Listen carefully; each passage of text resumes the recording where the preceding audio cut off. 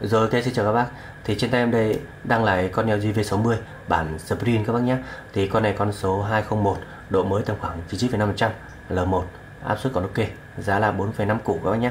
Thì à, cái bản Sprint này à, Em nghĩ là nhiều thương gia bán bây giờ là người ta không nói là bản Sprint đâu. Người ta sẽ nói luôn là cái bản à, T-Mobile.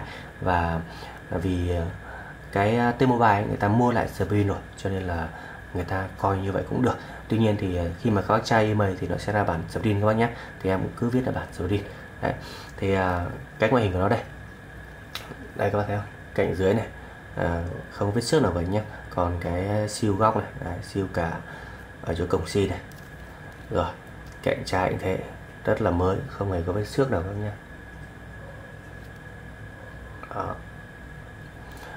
Cạnh trên này cũng thế cũng còn rất mới còn nguyên miếng siêu ở đây này. Đó, các bạn yên tâm. Đây là cạnh phải. Cạnh phải cũng thế không nhé không hề có vết xước nào cả. Đó. Còn đây là cái mặt lưng. Thì cái mặt lưng này em sẽ không ờ, không lau kỹ cái phần ờ, màu trắng tại vì nó khá là bẩn này thì ờ, các bạn yên tâm nó vẫn là rất là mới các bác nhé thì em chỉ quan tâm kỹ đến cái phần camera này cũng camera ờ, này các bạn thấy là hoàn toàn là không có vết xước nào cả các nhá. Đó. Rất là đẹp luôn. Rồi.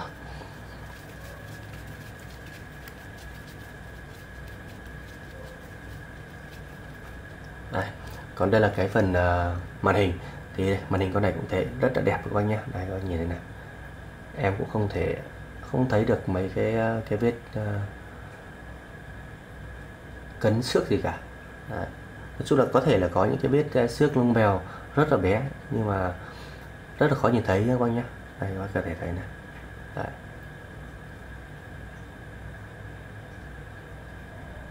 rồi ok các bác. Thì các bác yên tâm nếu với nếu mà kể về độ mới thì con này nó rất là mới rồi các bác không phải lo các bác nhé rồi, camera đây. Đây. Cam trước bình thường hết nhé trong sau này, rất là nét. Gần này, rất là nét các bác nhé. Siêu rộng này, rất là nét. Rồi, em sẽ vào bên trong. Dấu vân tay bình thường các bác nhé. Xem con này chạy nói mấy. Thì con này chạy nói 12 này các bác nhé. Và hoàn toàn có thể lên 13 được các bác nhé. Ok. Wifi này, wifi bình thường nhé. Tắt wifi này. Nhận sim bình thường nghe gọi luôn. Tiệm cận bình thường này. Đấy có thấy không? 4G bình thường nhé. Rồi. Cái này còn cái gì test không? Đây. Test cái uh, cổng 3.5 đây có thấy không? Nhận DC bình thường nha các nhé. Ok. À, đây máy tính. Đây là cổng máy tính của em đây đây các bác thấy này.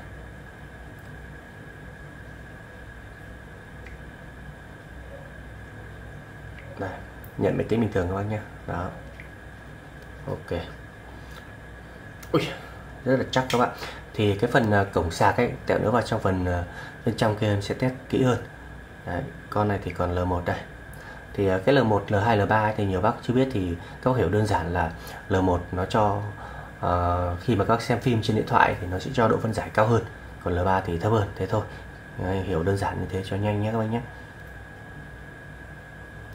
Rồi ok. Còn gì nữa không nào? Đây nhé các bác nhé em sẽ vào bên trong.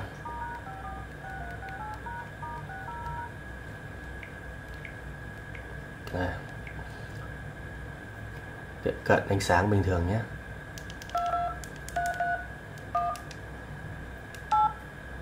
Phím bấm bình thường nhé chuông bình thường này rung này. Rung bình thường các bác nhé con quay hồi chuyển này bình thường hết nhé mic này bình thường này. Mic trên bình thường này. Mic không bình thường này. Rồi ok. Bốn mic bình thường các bác nhé cảm ứng này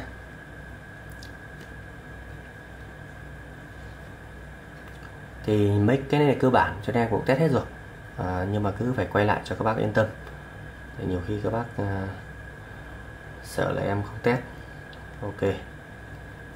Áp suất đây dành cho bắt đầu thích áp suất. Đấy, thì con này nhảy rất là mạnh rồi nha. Rồi.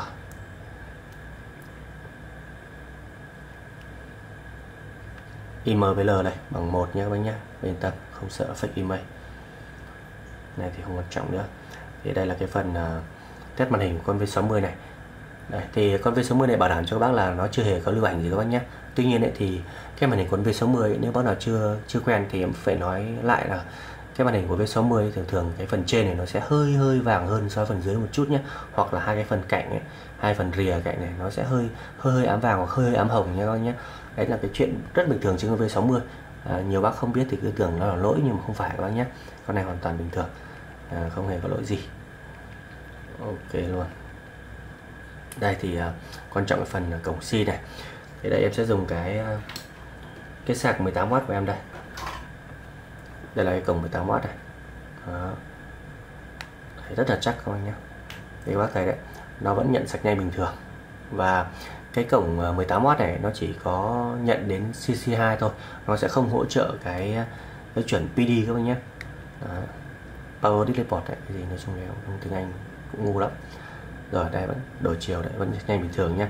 Thì đương nhiên các bác nào mà muốn cái tốc độ sạc của con V60 nó nhanh hơn cải thiện được một chút ý, thì các bác nên dùng cái à, cái củ sạc mà trên 25W từ 25W trở lên và hai đầu dây ấy, nó đều là đầu xi các bác nhé có nghĩa là có hỗ trợ PD ấy, thì nó sẽ nhanh hơn đây như em đang dùng cái cổng à, 25W đây thì à, các thấy nó sẽ hỗ trợ lên đến PD04 này đấy phải không?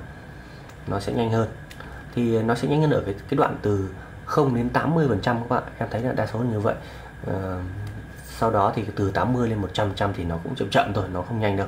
Thì tại vì V60 nó tối ưu nó cổ chuối lắm các bạn chẳng hiểu kiểu gì. Và nhiều bác rất là sợ cái việc mà nó lỗi chân sạc ấy. Thì ờ, hiện tại là con này nó không lỗi nó vì nó chân sạc mới tinh mà chứ nó sẽ không lỗi. À, sau này thì các bác dùng cẩn thận thì nó cũng chả bao giờ lỗi đâu cho nên các bác yên tâm về việc mà mà cầu sạc trên V60 nó không quá là là là là không thể dùng được hay là quá cái gớm như như những anh em khác nữa. Ừ, sợ quá không dám mua luôn. Thì em em tại vì cơ bản là em dùng cái con này cả năm rồi em vẫn thấy nó vẫn dùng bình thường cho nên là là không phải là vì thế mà các bác sợ nó quá nhé các anh nhé à, đương nhiên thì à, lỗ trên sạc thì nó hơi của chuối nó hơi bất tiện nhưng mà các dùng cứ dùng cẩn thận nhẹ nhàng thì nó vẫn bình thường. Và nếu bác nào cẩn thận hơn thì dùng có thể dùng sạc không dây cũng được con này có sạc không dây mà. Đấy rồi ok. Thì các bác à, nào mà muốn mua con này thì liên lạc em ở số điện thoại góc màn hình các bác nhé à, con này hoàn toàn không lỗi lầm gì và rất là đẹp các bác nhé rồi ok chào các bác.